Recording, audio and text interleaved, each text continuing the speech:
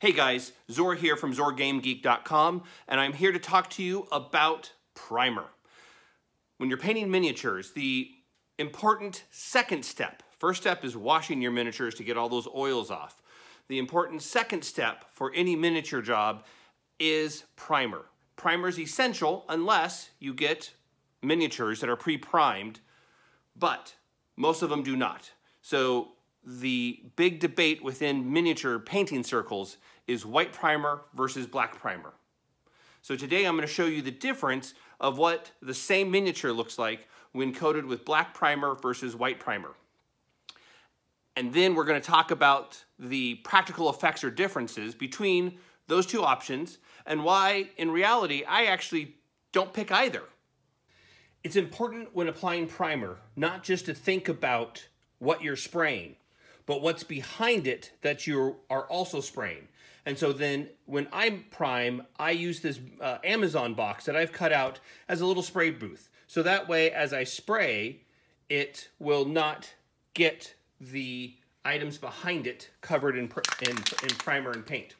So when, when, when, when applying primer, one, you gotta shake the can. You can hear me shaking the can back here to, to make sure there's good. And you actually wanna start off to the side to make sure you have a nice even flow. And oops, you see what happened right there? My miniature got blown over by the force of the paint. A good solution to that is getting a little bit of sticky tack and putting it underneath. Unfortunately, I couldn't find my sticky tack. So here we are trying to do the best we can without it. And you may be in the same boat as me, and so we're just going to apply nice even coats. Oops, and actually, sometimes having it go over like this is good because then you can use it to get the underneath surfaces of your miniature. Now we're gonna let, let it dry for a few moments and then we will paint the backside of this skeleton. All right, we're back. The front side of the skeleton has dried and now we're going to spray the back with primer. This time I'm gonna try not to knock it over. There we go you can see the dust spraying around. And now I'm going to get the top. And then I'm going to get the back side over here. And now I'm going to get the front side, make sure that this is a good even coat. So now you can see that I have primed all sides and now we're going to wait a few moments to let it dry some more. It's important when you're done to inspect to make sure that you got a thorough paint and uh, coating of the miniature. And You can see right here on the bow that I did not get a thorough coat. And then there's also a spot, a little harder to see here on the front of the uh, quiver that also is not covered. So I'm gonna need to come back in and spray it one more time to get a complete coverage of the primer. All right, we're back from priming the first miniature white. Let me tell you why you should use white primer. It covers better in terms of not the primer itself, because that's your spray job, but when you put the paint over the primer, the paint covers better. That means that you need less coats to hide the white underneath because it's already a light white behind it. And most paints, acrylic paints, are a little translucent. They, you need a couple of thinner layers to be able to build that depth of color up. And with white paint, you don't need to worry about having too many layers and losing some of the details of the miniature. The downside with white paint, white primer, is that if you miss a spot, it's really obvious under light. Black primer, mm, yes as well, but with white primer, you definitely, definitely are going to see those missed spots, especially if they're in, in kind of the deeper areas that you want to be in shadow, but with the white, they just burst out. And so with that, we're now going to go through the process of priming a black miniature. All right, guys, I'm back with a black miniature.